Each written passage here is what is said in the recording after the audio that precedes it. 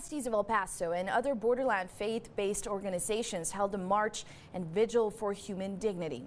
The march was led by Bishop Mark Seitz and Auxiliary Bishop Anthony Celino. It began at San Jacinto Plaza and continued to Sacred Heart Church. Hundreds of people showed up to show their support of migrants seeking asylum.